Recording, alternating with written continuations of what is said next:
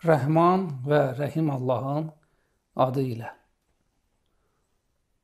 Həmd olsun aləmlərin Rəbbinə. Allahın salamı olsun Həzrəti Muhammed peyğəmbər və onun pak əhli beytinə. Xoş gördük sizləri əziz dostlar İslamda övlad tərbiyəsi verilişimizdə. Biz keçən bəhsimizdə İslamın övlad tərbiyəsinə verdiyi önəm haqqında danışdıq. Tərbiyənin tərifini dedik. Tərbiyənin mənasını izah etdik. Dini tərbiyənin anlamını dedik. Bugünkü verilişimizdə tərbiyənin növləri haqqında danışmaq istəyirik. Tərbiyənin iki növü vardı. Rəsmi tərbiyə və qeyri-rəsmi tərbiyə. Rəsmi tərbiyə rəsmi mühitlərə aid olan tərbiyə növüdür. Bizim övladımız bağçaya gedir, bağça mühitində müəyyən şeyləri öyrənir. Bağçadakı uşaqlardan müəyyən davranışları götürür. Daha sonra bizim övladımız məktəbə qədər hazırlıq kurslarına gedir. Həmin mühitdən, orada olan uşaqlardan, müəllimdən müəyyən şeyləri öyrənir. Sonra bizim övladımız məktəbə qədəm qoyur. Məktəb mühitindən, sinif yoldaşından, müəllimlərdən, başqa şagirdlərdən nə isə öyrənir. Bütün bu tərbiyə növü rəsmi tərbiyə növünə aiddir. Rəsmi mühitdə olan tərbiyə. Amma tərbiyənin başqa bir növü, ikinci növü qeyri-rəsmi tərbiyədir. Adından da məlum olduğu kimi qeyri-rəsmi mühitlərə aid olan tərbiyə. Övladımız səhər tezdən yuxudan durur, valideynlərini görür, ailə mühitində olur, evin mühitində olur, bacı qardaşları ilə oynayır, həm yaşıdları ilə oynayır. Valideynlərin bir-biri ilə münasibətindən nə isə öyrənir. Valideynlərin o biri övladları ilə münasibətindən nə isə götürür valideynləri ilə gəzintiyə gedir, həmin mühitdən nə isə öyrənir, orada olan şəxslərdən nə isə qavrayır, götürür. Valideynləri ilə alış-verişə gedir və yaxud valideynləri ilə parka, gəzintiyə gedir, öz həmyaşıdları, dostları ilə oynayır. Bütün bu mühitlər qeyri-rəsmi mühitlərdir. Və tərbiyənin qeyri-rəsmi növü qeyri-rəsmi mühitlərdə qazanılan tərbiyədir. Əvvəlcədən bunu qeyd edim ki, həm rəsmi tərbiyə bizim övladımız üçün lazımlıdır, həm də qeyri-rəsmi tərbiyə. Amma mümkündür belə bir sual yaransın. Tərbiyənin növləri haqqında danışmağın faydası nədir? Bilirsiniz ki, insan öz faydasını öz mənfəətini və xeyrini göz önünə alan bir varlıqdır. İnsan ona faydalı olan işləri görür, ona mənfəət qazandıran işlərin arxasınca gedir. Bütün bu işləri önəmli, vacib hesab edir. Başqa bir tərəfdən insan ona ziyan verə biləcək, zərər verə biləcək, xətərli işlərdən, davranışlardan qaçır. Bu verilişimizdə tərbiyənin növləri haqqında danışmaqda məqsədimiz budur ki, hansı tərbiyənin, hansı növ tərbiyənin bizim övladımıza daha faydalı olduğunu bilək. Hansı növ tərbiyənin daha təsirli olduğunu öyrənək, daha effektiv olduğunu bilək. Belə olarsa, biz bütün diqqətimizi, gücümüzü, enerjimizi həmin tərbiyəyə yönəldərik, həmin tərbiyə növünə yönəldərik və çalışarıq maksimum həddə həmin tərbiyə növündən övladlarımızın tərəqqisi üçün istifadə edək. Amma biz bu iki tərbiyə növünün təsir gücünü anlamağımız üçün ilk öncə gərək bu iki tərbiyə növü arasında olan fərqləri bilək. Başqa sözlə bu iki tərbiyənin özünə məxsus xüsusiyyətlərini bilək. Əgər bu fərqləri bilsək, hansı tərbiyənin daha təsirli, daha effektiv olduğunu anlamış olarıq və gücümüzü də həmin tərbiyə növünə yönəldərik. Odur ki, biz bu verilişimizdə rəsmi və qeyri-rəsmi tərbiyə növləri arasında olan bəzi fərqləri sizin diqqətinizə çatdıracağıq. Bu iki növ tərbiyə arasında olan fərqlərdən birincisi əhatə dairəsi baxımındandır. Yəni rəsmi tərbiyə əhatə dairəsinə görə məhduddur, amma qeyri-rəsmi tərbiyə əksinə məhdud deyil. Genişdir, çox şaxəlidir. Bizim övladımız bağça mühitində olur. Bağça mühiti ancaq o məkana aiddir. Məktəbə qədər hazırlıq kursu ancaq həmin məkana və mühitə aiddir. Məktəb ancaq olduğu həmin yerə aiddir, həmin təhsil ocağına aiddir. Bu minval ilə rəsmi tərbiyə əhatə dairəsi baxımından məhduddur. Amma qeyri-rəsmi tərbiyə çox genişdir. Biraz bundan öncə də qeyd etdik. Övladımız ailə mühitində olur. Valideynlərini müşahidə eləyir. Özündən böyük bacı qardaşlarını müşahidə eləyir. Oyun oynayır. Həm yaşıdları ilə oynayır. Müxtəlif məkanlara valideynləri ilə gedir, gəzintiyə gedir alış-verişə gedir, parka gedir. Bu mühitlərin hamısı qeyri-rəsmi tərbiyəyə aiddir. Yəni qeyri-rəsmi tərbiyənin əhatə dairəsi çox genişdir. Övladımız hər bir yerə getdikcə, hər bir mühitdə olduqca oradan müxtəlif şeylər öyrənir, müxtəlif tərbiyəvi səhnələri müşahidə eləyir və çalışır öz hərəkətlərində bunu biruzə versin. Odur ki, biz qeyri-rəsmi tərbiyəyə sərmayə qoymalıyıq, diqqət eləməliyik, enerji ayırmalıyıq, vaxt ayırmalıyıq, qənimət bilməliyik. İkinci növ bu iki növ tərbiyənin arasında olan başqa bir fərq tərbiyənin amili baxımındandır. Qeyri-rəsmi tərbiyədə tərbiyənin necəliyi, keyfiyyəti və kəmiyyəti də, qədəri də bizim əlimizdədir. Bizdən asılıdır, uşağın özündən asılıdır, ətrafdakılardan asılıdır. Yəni mən bir valideyn olaraq övladıma hansı ədəb qaydasını, hansı ədəb normasını və nə qədər öyrətmək istədiyimi özüm qəbul edirəm mənim əlimdədir. Və yaxud mənim övladım məndən bir valideyn olaraq hansı ədəb normalarını, ədəb qaydalarını öyrənəcəyinə özü qərar verir.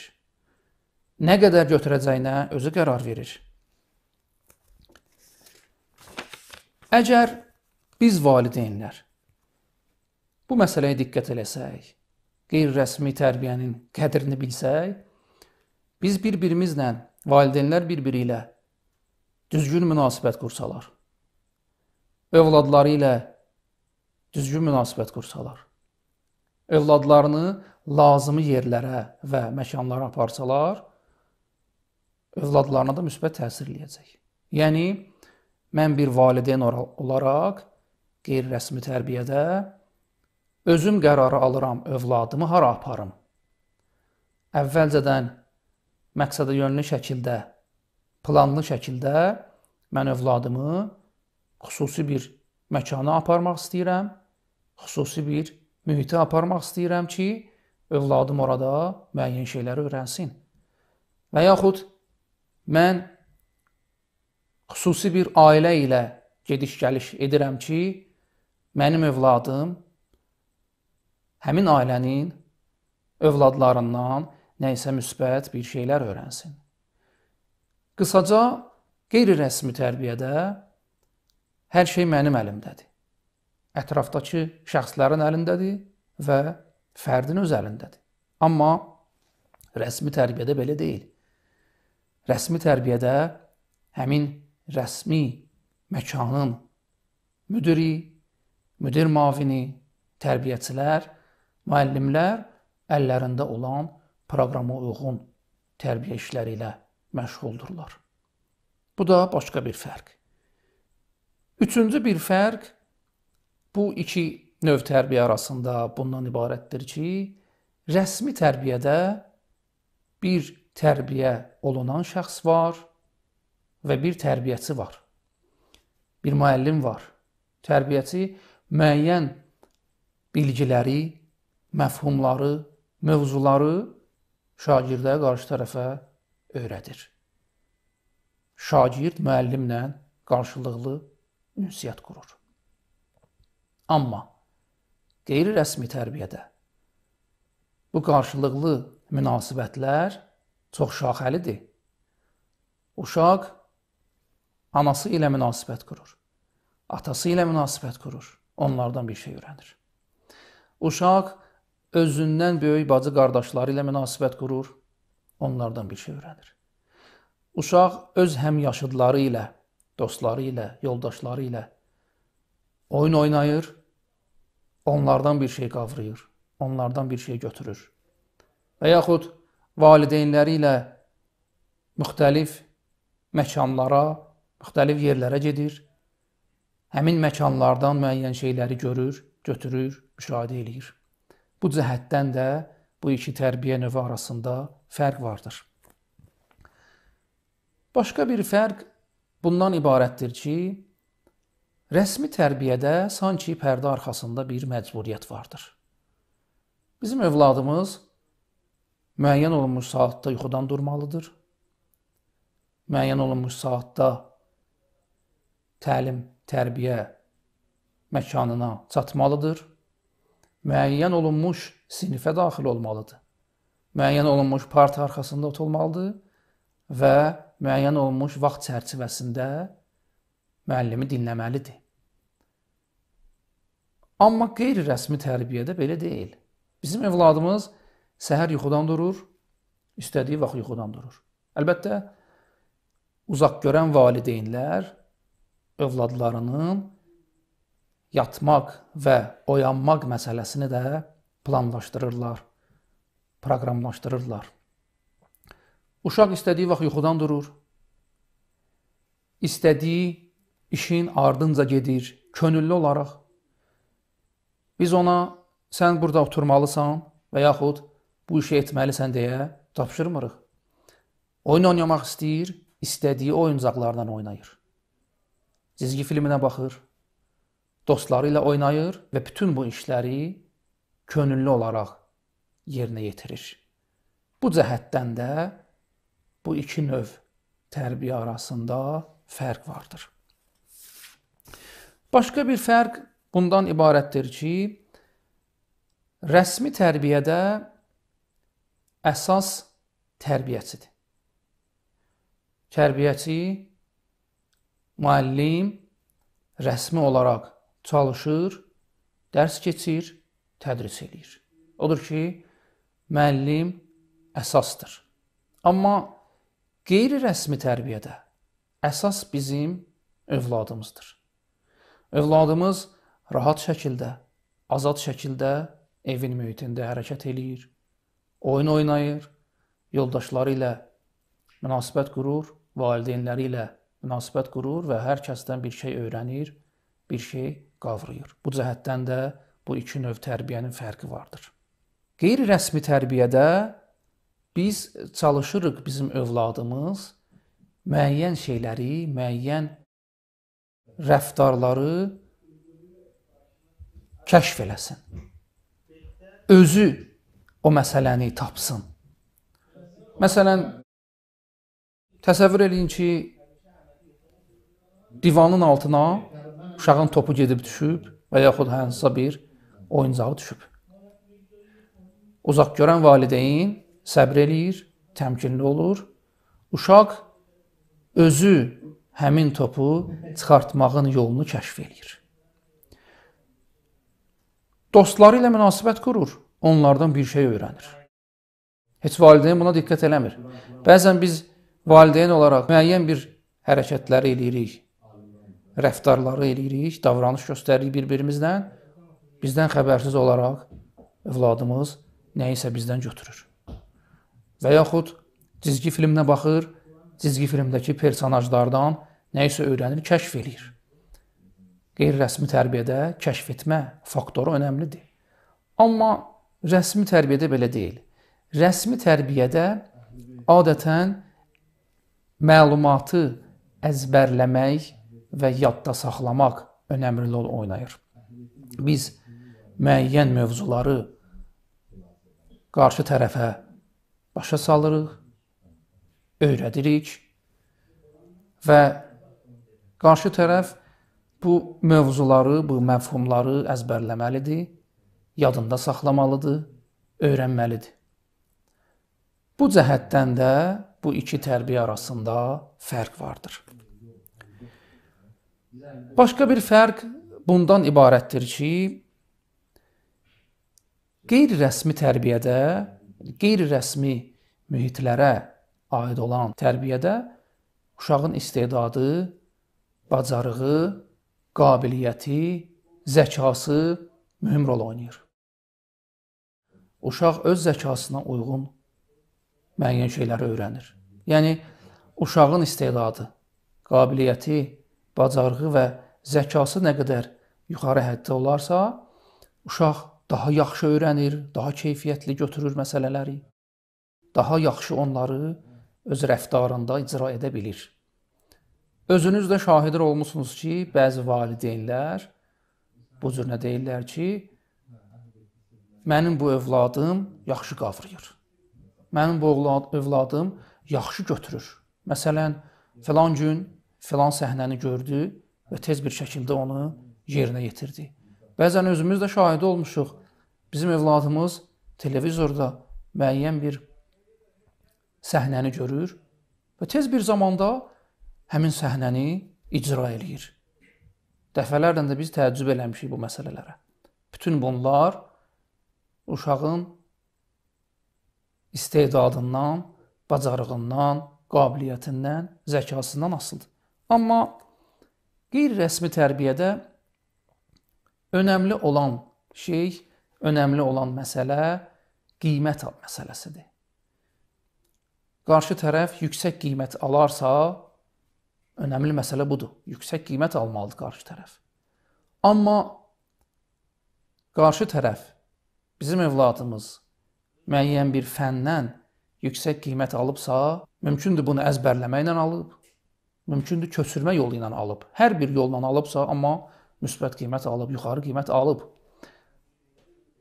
Və istedadına, bacarığına, zəkasına burada heç bir onun adiyyatı yoxdur. Çünki bəzi vaxtlar biz müşahidə eləmişik ki, qiyməti yuxarı olan şəxslər heç də həmin bildiklərini, öyrəndiklərini həyatlarında, öz davranışlarında tətbiq edə bilmirlər, icra edə bilmirlər. Biz bu gün tərbiyənin iki növü haqqında danışdıq. Rəsmi tərbiyə və qeyri-rəsmi tərbiyə. Dedik ki, çox önəmlidir ki, biz bu ikisinin fərqini bilək fərqlərinə vardıqdan sonra enerjimizi hansı tərəfə sərf edəcəyimizi, edəcəyimizi biləcəyik. Daha effektli tərbiyənin hansı olduğunu biləcəyik. Mən bir misal ilə bu məsələni daha da aydınlaşdırmaq istəyirəm. Biz bəzən övladımızı bağçaya göndəririk. Ümidimiz bağçayadır. Fikirləşirik ki, övladımız bağçaya gedəcək, orada düzələcək. Övladımızı məktəbə göndəririk. Ümidimiz məktəbədir. Düşünürük ki, övladımız gedəcək məktəbə, tərbiyələnəcək. Amma ailə mühitinin, qeyri-rəsmi mühitlərin təsirinin nə qədər çox olduğunu bəzən unuduruq, yaddan çıxardırıq. Mən başqa bir statistikanı sizin diqqətinizə çatdırmaq istəyirəm. İbtidai sinifə gedən bir uşaq gün ərzində 4-5 saat və həftə ərzində 5 gün dərsdə olur. Yəni ay ərzində təqribən 100 saat bizim 1-ci sinifə gedən övladımız rəsmi bir mühitdə olur. Amma həmin bu övladımız ay ərzində 300 saat bizimlə bir yerdə olur. 3 dəfə artıq. Bu rəqəmlər bizə qeyri-rəsmi tərbiyənin nə qədər təsirli olduğunu göstərir. Biz bu 300 saatdan maksimum istifadə edə bilsək, enerjimizi bu tərbiyə növünə düzgün şəkildə sərf edə bilsək, uşaqlarımızın tərbiyəsində müsbət təsir qoyduğunu görə bilərik. Unutmayaq ki, övladlarımız elə bizim özümüzdür.